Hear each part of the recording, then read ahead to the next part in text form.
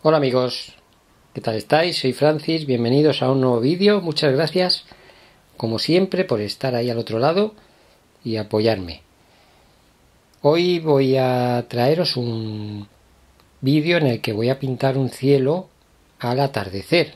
Es un cielo que ya he pintado, ¿vale? Es de un paisaje que ya pinté hace tiempo, de un paisaje marino, de una marina eh, que está dividida en dos partes.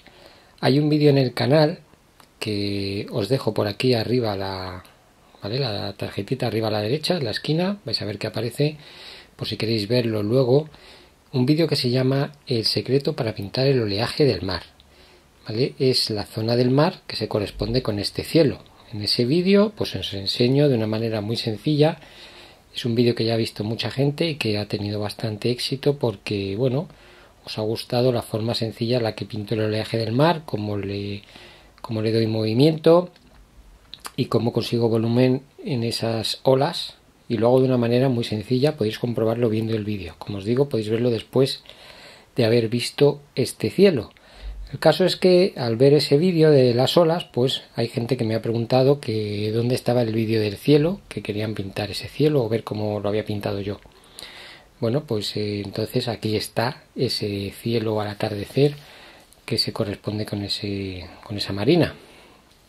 Vale, os lo traigo Estuvo subido al canal el vídeo una vez eh, hace tiempo, estuvo completo, el cielo y el mar. Ahora solo digamos que estaba esa parte en ese vídeo, el secreto para pintar el eje del mar, en esa, esa parte del mar. Y bueno, ahora traigo la parte del cielo, ¿vale? Entonces ya tenéis el vídeo completo, pues viendo estos dos vídeos.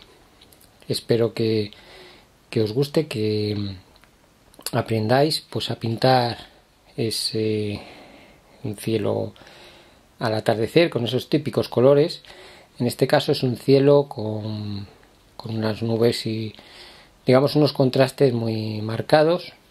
Esos colores que tenéis ahí, el blanco, el, el magenta, amarillo cambio, azul cerúleo, azul ultramar. Con esos colores pues voy a pintar unas nubes azuladas, eh, moradas con ciertos tonos lilas y una zona pues anaranjada, color salmón, con una zona iluminada que es donde va a estar el sol. ¿Vale?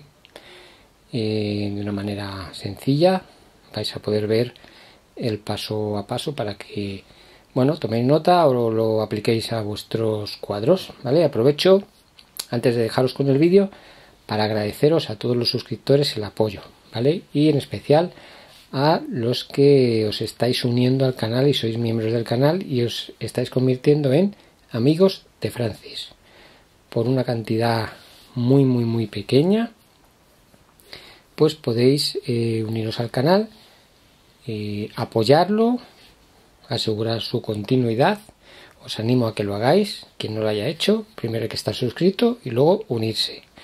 Podéis hacerlo a través del botón de unirme que tenéis junto al botón suscrito o en la descripción. Sin más dilación pues os dejo con este cielo al atardecer